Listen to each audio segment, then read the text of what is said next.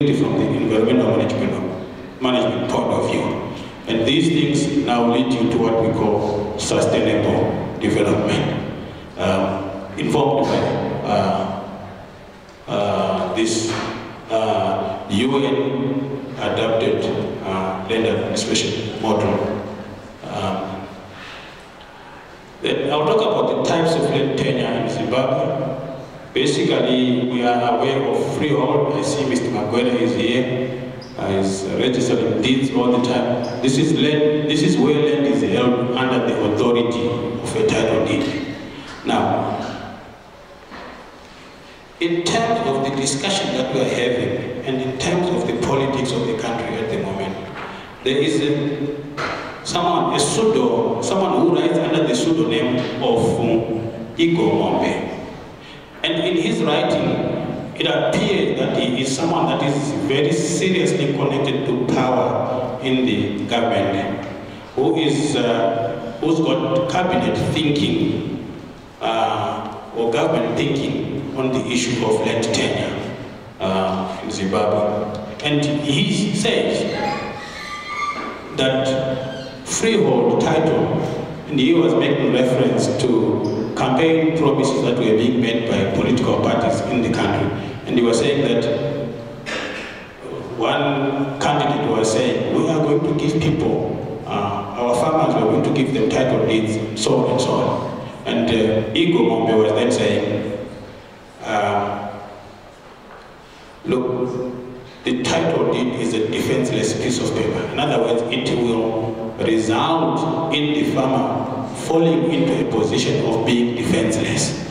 Because once you got a title deed and uh, with land markets that we have, we will have a situation where land will be consolidated into a few people with deep pockets. And he was therefore necessarily advocating for a situation where government would regulate uh, to avoid capture of land and consolidation into the same people that owned the land previously. That is the, in, terms of trying to give you the disadvantage of freehold title where land is then used for the collateralization uh, uh, to raise finance. Then the leasehold, this involves situation, acquisition of land use rights with obligations uh, and responsibilities defined for a defined period of time, and also where rentals are actually being paid for the use of that land for that defined period of time. In terms of the Deeds Registries Act, uh, chapter 20, 05, and in terms of the Regional Town and Country Planning Act 2912, any lease for a period of 10 years and above has to be registered in the deeds registry's uh, office. In, with, in terms of the leasehold, land ownership does not change. Uh, but the lessee can use the land to the exclusion of the lessor uh, during the subsistence of the lease. Now, in terms of the Constitution of Zimbabwe, uh, uh, the, the 2013 Constitution of Zimbabwe, uh, all acquired land vests in the state, and people can use it in terms of a lease agreement. And this is why we're talking about the lease agreement, the 99-year lease uh, or the A1 permits. Other types of land tenure in Zimbabwe are the common, hold or the communal servitude easements, resettlement permits, and state land.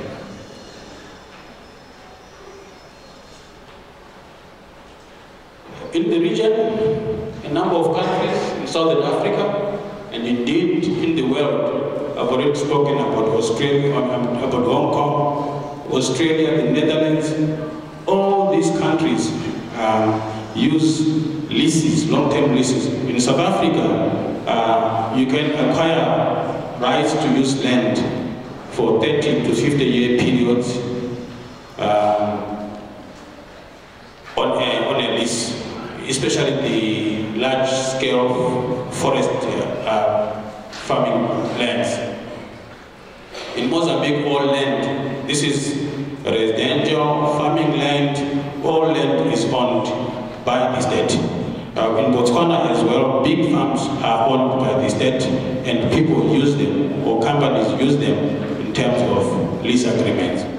The reason why I'm giving this example is that what we need to do is to, it appears that in Mozambique there is massive investment in agriculture, notwithstanding the fact that people are using leases.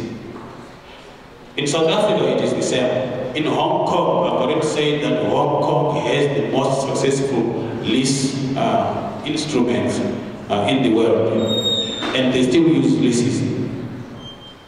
So, I will look a little bit, uh, talk a little bit about the 99-year lease uh, agreement later on, but it would appear that the South African Botswana and other countries don't necessarily have the challenges that Zimbabwe is facing in terms of using leases as instruments of underpinning finance for agriculture. So, what I'm saying is that it may therefore, I haven't looked at our 99 year lease agreement, but it may therefore mean that, it may therefore it gives you an impression that it is not the lease that is a problem. It is not the concept of a lease that is a problem, but it is perhaps uh, that have, been, that have developed as a result of how uh, we proceeded with the, our resettlement program, and which is uh, where security, insecurity in Zimbabwe may then arise. Uh, I'll talk about 99 year leases now. My observation is that the, the 99 year lease agreement that we are using is very cumbersome and tends to be intimidatory. Uh, you know, you know, when you talk about contracts, people always say that the devil is in the detail. And uh, we are saying that the lease agreement in Zimbabwe, the 99 year lease agreement, is about 50 pages. Uh, whereas when you look at the normal title deed, uh, normally it's about three to five pages, maybe at most seven pages. Uh, in my view, some of the information that is contained in the uh, current 99-year lease agreement should in fact be removed and captured in an enabling legislation, where we then simply, when we talk about the lease agreement, we simply talk about the maybe the conditions precedent, but the rest is, is really in the, in the enabling legislation or statutory instrument. Uh, and that reduces the, the extent of detail that is in the, in the list document. In the current form, well, it appears that the lease agreement is a financial instrument with limited competitiveness transferability, and bankability. Um, and as a result, this is why financial institutions in the country may be timid to extend financing to agriculture. And as a result, because of that limited finance, our ability to be sustainable and productive on the farms is also compromised. And uh, when you analyze clause 25, uh, 3.2 of the 1998 lease agreement, you see that uh, the agreement offers limited security of tenure to potential agricultural financiers. Because um, you know, in the event, what it says is that in the event that uh, uh, the borrower has failed to pay, uh, the, the lender can actually uh, acquire that lease agreement and put it on the market. And if in one year he fails to, to find someone who will use that lease agreement or the leasehold for, for the reasonable period for them to recover their money, they must then engage in farming themselves. And look, I'm a banker, I'm not a farmer. and it also says, uh, if you, when the lender, if the lender fails to find someone who can actually advance the money that was borrowed in replacement of the, the money that would have been advanced to the borrower, he must mutually, in, in mutual agreement with government, uh, surrender the, the leasehold back to the government, and the government will then find uh, a suitable uh, lessee, a new suitable lessee who then pay back. And all that is risky, and uh, in my view, uh, there is no responsibility at all on the part of borrowers who may indeed take money and use it to do other things other than financing the purposes for which they, they borrowed the money. So there also appears to be some invisible hand, as uh, I was talking about Ego Mombe earlier on. There is timidity, there is no, there appears to be some lack of commitment to actually let the uh, lease agreement trade on the open financial markets uh, and therefore limiting competitiveness as I already indicated.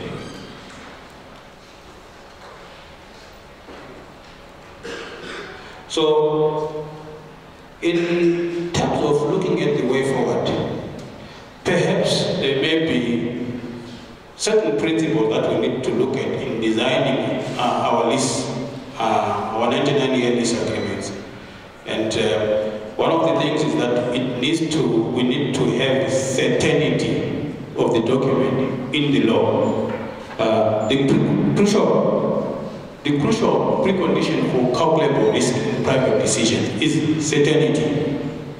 If you want to calculate the measure of your risk, you want to also know the measure of certainty of the instrument that you have for ownership. Uh, this necessarily entails that you need to have legislation which is unambiguous, which is clear and reliable. You want to have predictability in the transfer and use of land. Uh, the instrument should do, provide for an environment which allows for institutional enforcement of claims in cases of disputes. Um, and also which provides for a limitation of and predictability of government action. You know, I'm not saying that government uh, is doing, is not doing the correct thing, but I am saying that there has to be predictability in how the government is uh, going to respond to a particular situation.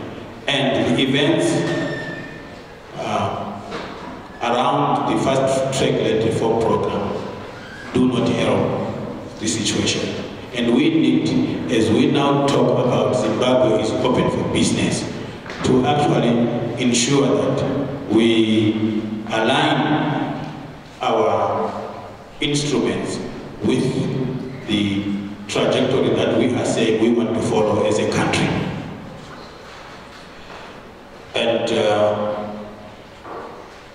the second principle in designing the tenure instrument is the rule of law. There has to be a perception that uh, we respect our national constitution and our human rights, there is a separation of the powers of the executive, parliament, and the judiciary, and therefore that these uh, different uh, arms of government can play their part uh, in resolving any matters relating to land uh, tenure security independently of the executive. Uh, there also has to be a measure of democratic accountability uh, which underpins, I mean, through which uh, the participation of stakeholders uh, is underpinned. Uh, and these stakeholders would be landholders, farmers. There has to be an integration of the institutions, indigenous institutions. It could be the banks, it could be the parliament, it could be the commission, the land commission, and other commissions uh, in the country, and also integrating in indigenous knowledge systems. In other words, when we come up with a tenure instrument that has been crafted following the participation of all these stakeholders, the acceptability of that tenure instrument is going to be higher because the banks would have participated in crafting thereof. Um, the financial, the, the, the, the land commission, the people, the farmers, they participated in the crafting of that instrument. But also, most importantly, it allows the state to participate in the regulation uh, and intervening land administration in line with the national socio-economic imperatives uh, that it wants to achieve. In other words, I am not saying that the the, the, the I'm saying that the government's participation must be limited to coming up with the policy framework. Thereafter, it's, um, there, there, shouldn't be any deviation of the policy in terms of its application. What then remains is for people that are implementing that uh, policy framework to just proceed with the implementation and therefore giving a situation where there is predictability in terms of government action, in terms of how the government is going to react at any particular point in time in the event that there is a dispute in terms of uh, the tenure instrument. And the participation of the different stakeholders will actually ensure the legislation mirrors the obtaining complexities of the social economic uh, climate. And then also, you need to look at the administrative burden, the involvement of, this involves uh, consideration of technical matters such as cadastral surveys, land registration, land evaluation and land taxation, and also even the, in terms of the land administration model that I talked about earlier on, the planning, the land use uh, permits, the land development permits and so on. But of course, you need to think about this and obtain a balance uh, of the cost and the benefit of doing it. Uh, ensuring that whatever this instrument, whatever tenure instrument we come up with is fit for purpose. You don't want to go into something that involves high, for example, the surveys where you are highly technical and precise for a certain uh, uh, product, which, which on a farm, for example, uh, which, which really doesn't make a difference whether the beacon is uh, one meter away or one meter that side. Perhaps there is really not much difference. So at the end of the day, the, the considerations must be taken to make sure that what we are coming up with in terms of our tenure instruments and our tenure documents, there is um, a strategic fit uh, and the, the document is fit for purpose. There's no point in defining or designing a gold standard solution which is not going to be used. Simplicity of design is important. The instrument needs to be simple and consistent with the principles of ease of doing business. This is why I'm talking about the 99-year lease agreement that we have being 49 pages, an intimidating 49 pages. I think it simply doesn't work.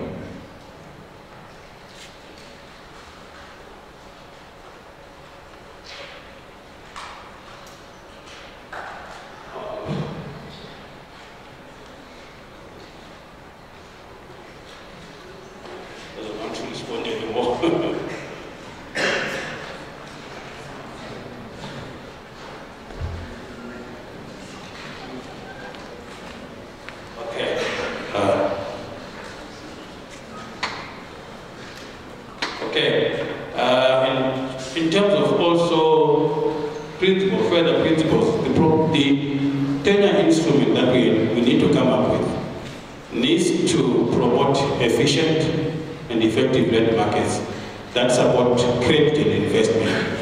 I talked about that. It entails availing land as an asset of collateralization for agricultural finance, but it also involves government regulating against capture against inefficient and inevitable consolidation and dispossession of the poor. Sorry, that must be dispossession.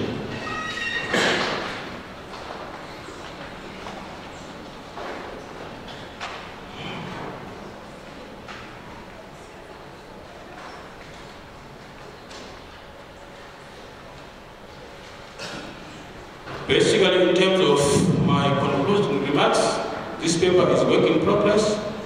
More will be invested.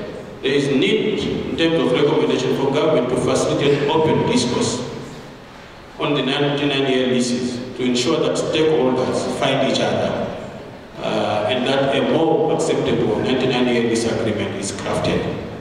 Uh, there's also need for approaches for improving the uh, transferability and bankability of the 99-year leases. Uh, we need to consider that. Possibly one of the things is that when, because the constitution already says that all land is owned by the state.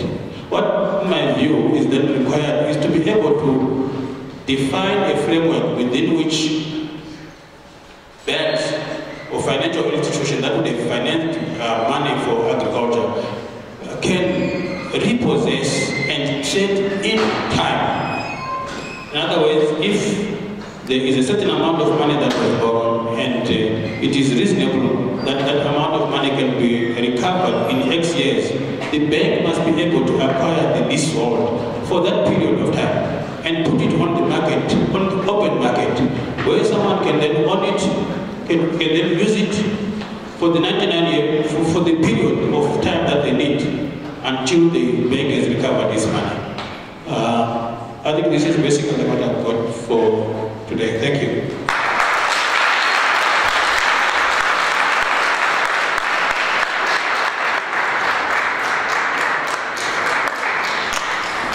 Thank you, for the presentation. Um,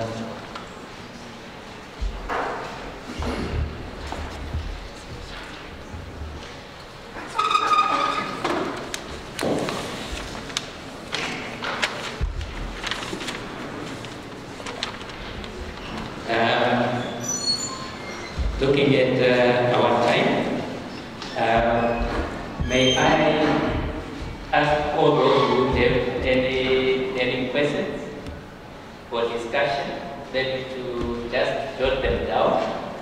Uh, what we what we will do is uh, right at the end, because the presentations can actually come first, we can have um, discussions, uh, questions, because the presenters will be here, and I will also be here. Um, so that we can then address any questions and hold any discussion um, for the two sessions after the presentation of uh, the second uh, presentation. I hope that is in order. Okay? Then uh, I have been advised that uh, there may be some, especially from our student body, who may be uh, maybe traveling or something, maybe we'll give you the opportunity to excuse yourself, uh, or we can excuse you. Um, otherwise, we continue. Maybe my request is that uh, we limit the amount of movement during the presentations so that we don't necessarily disturb the flow of the presentation. Okay. Our next presenter is uh, Dr. David Goodwin. Uh, Dr. David Goodwin uh, is a registered land surveyor uh, practicing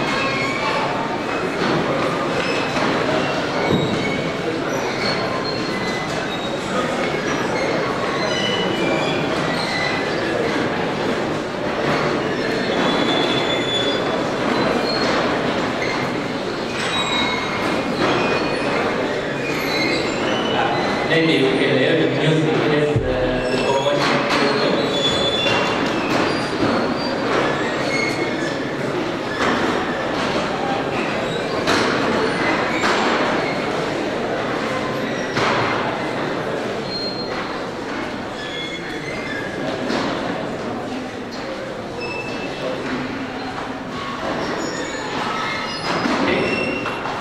I, I wish I could sing. Um, maybe I would have some for you during this interview. But unfortunately, uh, the voice is not uh, very good for, for singing. And I'm not well blessed with the type of music most of our young guests are, are acquainted with. okay, let me continue. Uh, our next uh, guest presenter is Dr. Goodwin. Uh, Dr. Goodwin was born in Bulawayo. He studied at the University of uh, Cape Town and worked as a registered land surveyor in Zimbabwe. He then went on to lecture at the University of Zimbabwe for 17 years. Um, actually, he was one of the pioneer lecturers in the Department of Geoinformatics and Surveying. And literally, almost all of the surveyors who are currently, the majority of them, of the older folks who are currently registered with the Council of Land Surveyors were taught by him, myself included. Uh, so along the way, he went on to do his master's degree in London on a Commonwealth scholarship. Then he and his family emigrated to New Zealand in 2003, where he completed his PhD at uh, Otago University, uh, where he was comparing the existing land tenure custom between New Zealand Maori and the Shona and Terere peoples in Zimbabwe. So that is what he was looking at uh, in his PhD. He is a senior lecturer at the University of, uh, at the School of Surveying at the University of Otago. And his research interests include socially based tenure in transition, archaeoastronomy, cartography, and the cadastre. He is in Zimbabwe on sabbatical and uh, actually is visiting his first granddaughter, so he is the recent or a brand new grandfather. I can put it that way. Uh, I invite you, Dr. Goodwin?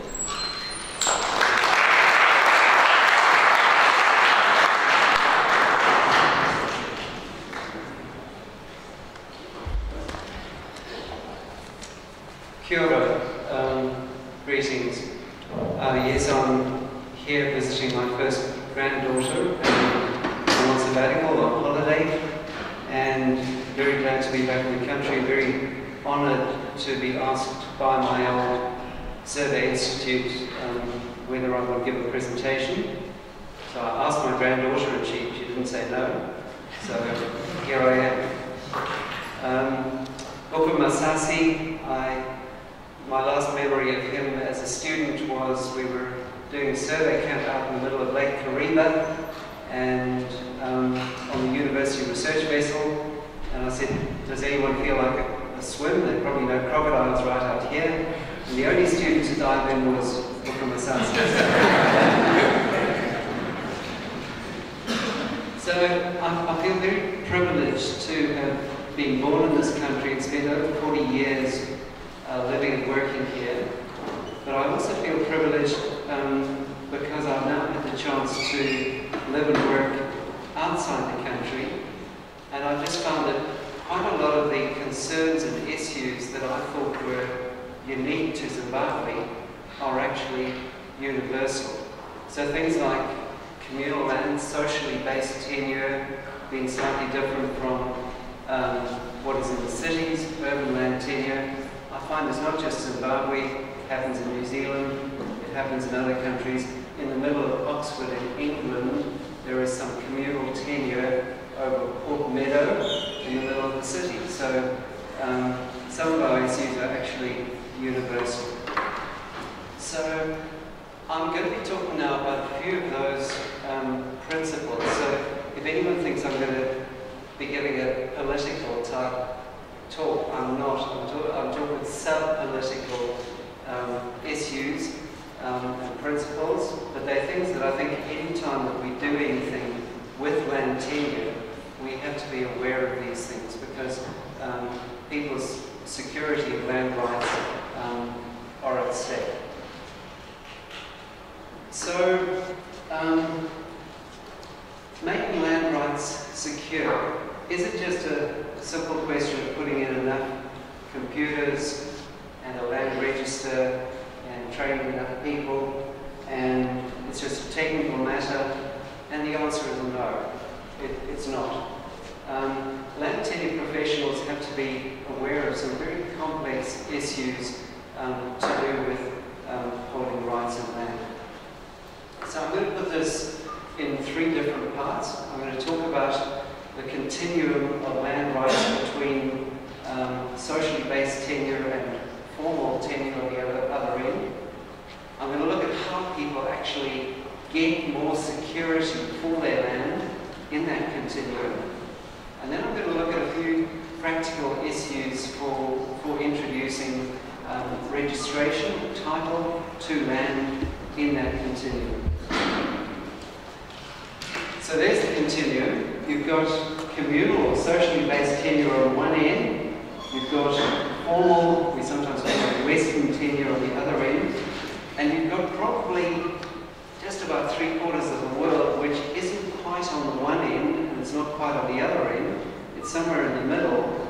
Um, and that's, common than being at either of the ends. So uh, when I talk about socially based tenure, I'm talking about um, land which is generally not marketable. You can't freely buy and sell it. Um, rights are generally not exclusive. You can't put up a no, no trespassing sign and keep everybody else off your land. And generally the relationship between your land rights and your social responsibilities, so your, your duty to the community, are very nicely integrated. And that's, that's actually a strength of socially based tenure. Formal tenure, on the other hand, land is typically marketable. You can buy and sell it. Um, rights are generally exclusive. You can put up a no trespassing sign and say, keep off my land. But the relationship between land rights and social responsibilities is quite fragmented. So, have you got two extremes which are utopian, they, they really work well, and a whole lot of chaos in the middle? No. Um, both of those extremes have their own problems. So, let's look at the socially based tenure end of the continuum. And right holders tend to invest quite heavily in social relationships, um, in their relationships with the community. That can result in patronage, nepotism, inconsistent application of the law, and non-competitiveness in a free market. So once you've established those, those, those good social relationships, they can be difficult to withdraw from, and that can result in unproductive patterns of resource use. But there are also issues with formal tenure. So there's a tendency to excesses, to the rich getting richer, the poor getting poorer. As soon as, you, as Booker said, got title deeds, you can get the people with deep pockets, I think he said, buying up a lot of land. Um, unless you put in a whole lot of controls, death duties, capital gains taxes, limits on farm size, and so on. But those controls are often quite closely bound up with governance. So the wealthy often possess disproportionate lobbying power to oppose um, that sort of control. There's also, in that Western or formal system, there's a tendency to favour the short term. So the, the, amount of time to your next election um, or whatever. It's the short term, whereas socially based tenure quite often looks to the long term, which is, which is a strength. Commoditized land, as soon as you make land free, uh, able to be bought and sold, it can be sold irresponsibly. For example, by male household heads, they're notorious for doing that sort of thing. Or sold not irresponsibly, but in desperation, so you have a sick, sick child or something, so meet school fees or hospital fees. Um, soon get represent um, rights on the deed, on a title deed, um, you can um, make that land more accessible to the rich and powerful. And finally, when you remove social responsibilities from the land tenure equation, there are hidden costs. So you don't have people um, only holding land on condition that they look after the poor and the unemployed and the sick. Um, that's now separate, and um, you've got to have a social security system, and you've got to factor that in to the cost. So, in reality, as I say, most land is somewhere between those two extremes. And um, it varies. When you get closer to the cities, um, you may get reduced tribal authority, land might start to get a little bit more marketable, it may be less so over on that end. Um, over on this end, um, people might even start uh, preparing their own do-it-yourself diagrams and title deeds this happens. Um, but there's, there's a very complex, even just in the same district, you can have land which is at different stages on that continuum. And in that continuum, you haven't got all the controls of original socially based tenure, and you haven't got all the controls of uh, formal tenure, and vulnerable groupings. Um, the very poor women typically um, are their, their land rights security is very low. Um, you can also get in that continuum land grabs. This has happened in, in um, many places in Africa by multinational companies um, because as soon as you get that land on a title deed or a long lease or something, somebody might be able to come in from overseas and actually get, get rights on that land um, and grab, grab land. There's a, a big body of literature on that.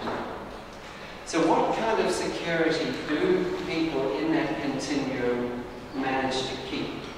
Um, I think there are two main kinds of security. There's um, the security of rights in land, so links with the land. Surveyors, surveyors love that side. That, that's the sort of thing we as surveyors understand. Title deeds, um, diagrams, survey marks, that sort of thing. It, it's very, very clear to us. But you've also got a security of belonging to a community, and that's, that's more important on the socially based um, end of the, of the spectrum. So socially based tenure is, is really like a two-stranded cord. So you've got these land links and interpersonal links, and they're very tightly bound up together. But when you um, give title deeds, you're actually separating those strands. So um, you're getting uh, land links backed by a judicial system, paid for by rates and taxes, separate from interpersonal links. So your links with your family, your neighborhood, etc. Those are personal, those are private. You can do them if you want. You can be a lousy neighbor if you want, and you can still keep your land rights. And um, individualizing rights, so giving title deeds is actually a huge thing. We, it, has been done, done, very lightly in some countries like Kenya. Give title deeds, and there have been some, some major mistakes where title deeds have been given and the community has become fragmented. And arguably, this has come out in things like depression, mental health problems, family violence, something like that. So, um, a, yeah, um, an anthropologist a Southern African anthropologist looking at the Shona, said that when you um, separate um, a uh, communal area group of people, it's almost like killing um, a community. It's, it's like wounding a, a, living organism and it's left to, to die. That's how strong those communities are. And we need to when we start separating social responsibilities and land rights. So, second, second area, how do people actually secure rights? And I think they do it in two different ways. They take bits of custom from one end and they adapt that custom, but they also start taking things from the formal end and, um, for example, making their own custom can include things like um, you move from one district to the other, you mix the soil, you um, show the ancestors, you, you know, there, there, are a lot of um, different ceremonies to do with, with land. Uh, burying birth boards, this is not just Zimbabwe, this is Maori communities, all of Polynesia, um, that sort of thing, forging links to the land. So that sort of custom um, tends to be very persistent. Um, but over on the formal end, people start creating their own DIY title deeds and diagrams. They, they might draw a sketch and say, is this what um, you're buying from me or whatever, and get some witnesses in, and um, they start bypassing the survey profession and creating their own deeds. So, looking firstly, very quickly, I know we're running short of time, so I'm going to rush through this quite fast, but over on the custom side, I think there are three main classes of ceremony. There, there are publicity ceremonies, so when people come onto the land and calling the, the Sabhuku headman, the neighbours, the ancestors, whatever, um, there are things like rates and taxes parties, um, introducing the home to ancestors, community, to God, um, that sort of thing. You talk to people and they say, um, it's that ceremony which gives you the title deeds, as it were, to that land. Because that ceremony is held, nobody can take it away from you. The second kind of custom is connection with specific land. So things like, and again, this doesn't just happen in Africa, um, it happens in New Zealand as well, but putting a, a peg in um, over there, they call it a ko um, just to mark the change in a set of rights over of land. So, so taking customs, uh, labour branch, uh, uchai um, or whatever, there, there, there are lots of different customs. And, okay, I'll skim past there. If we listen to how people speak, um, they say, where, where are you from? They speak sometimes of where their birth port was buried. In New Zealand, they, they say they are tangata whenua, that's people of the land, or people where their placenta was buried. This is universal.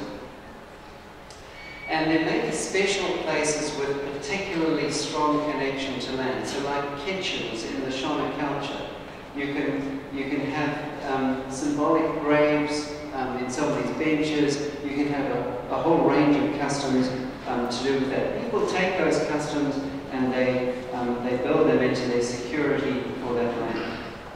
And then thirdly, there are renewal ceremonies. So ongoing ceremonies over the years. We have nhimbe work parties, gifts, mutual help, remittances sent back home, um, just to make sure that you can, when you retire, you can still go back to that bit of land. Um, again, that happens all over the world. So if you don't pay rates in the formal system, um, you may get fined, but if you don't um, keep up that connection with land in a socially based tenure system, you may cease to belong to that community. And that's, that's a very terrible thing. Okay, over on the formal way, how do people get more security to their land in that continuum? They start preparing do-it-yourself title deeds. Maybe it's just how much they've paid, when they paid, witnesses, signatures, that sort of thing. Um, some people you talk to say, well, it's the entry in the Sabhuku's book which gives me some sort of security over that land.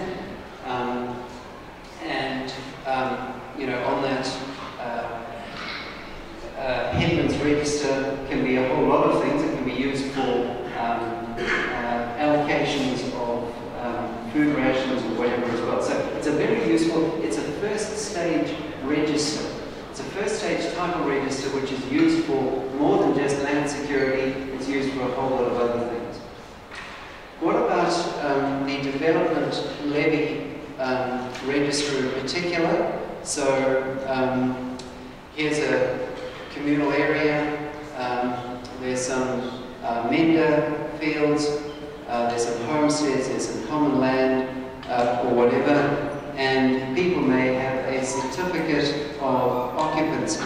And when you talk to those people, you say, well, you, you've got land which isn't quite, it's no longer pure communal land, it's no longer, it, it's not yet formal tenure, what is your security? And they say, well, this is one of the things um, that is part of our security, this, this register.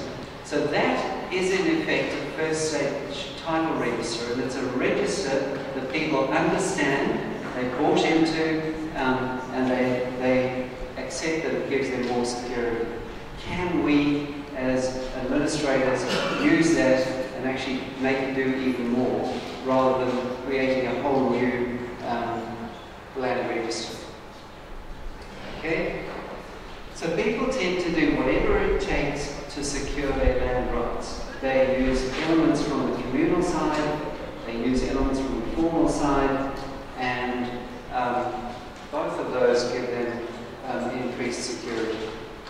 So last section, we've done one and two now. The third section is what sort of practical issues are there with introducing land registration in communal situations? There, there are a lot of options. I say I'm not going to get political, but I mean there are things like 99-year leases, full title deeds, um, there are a whole lot of different ways to do it. What are, what are the, some of the issues involved? Um, so I think there are at least seven challenges to factor in that we've to think about if we do do that sort of thing. Um, the first thing is that um, when, you, when you see who's actually living on communal land, maybe they're not the only ones with rights there. Maybe there's somebody living in an urban centre who's sending back remittances and hopes that they will um, have rights when they get sick or old or unemployed. So if you're going to make a land register, maybe you've got to factor in not just the people on the land, but find out who else um, has rights to this land. They've got latent rights. Um, second issue, land is often not owned. So this bit of land I've been near Bulawayo, I've been visiting since 1976 when I was doing an A-level school project and I know for a fact that it's changed, um, the people who use that land have changed because one family got smaller, another family had more need, so the land went from one um, to one family to the other. So Udelman, writing about Zimbabwe, says modern cadastral surveys and property rights based on those surveys don't permit the contraction and expansion of boundaries depending on the whereabouts the male cultivator. Hopefully the male cultivator has changed now, but that's the sort of thing we need to think about. In, if we're introducing title deeds or 99-year leases, is that land actually um, flexible in size? And is that a good thing to give security um, to people in that community? Third thing, shared rights. So you, you sometimes get temporary rights um, and non-exclusive rights, like cattle can graze there for certain times of the year um, for different seasons. It works. It's for a good, sound reason. Um, maybe water supplies change or whatever, or tsetse distribution changes or whatever. Maybe you're going to have to factor that into your land register as well. Fourth thing, some customary rights are quite quirky. They, they're quite difficult to represent on a cadastre. So, for example, um, maybe wild fruits on a bit of land can be harvested by anyone, but if you plant a fruit tree there, it can only be um, harvested by the person who planted the tree. Can, can we represent that on a, on a formal capacity?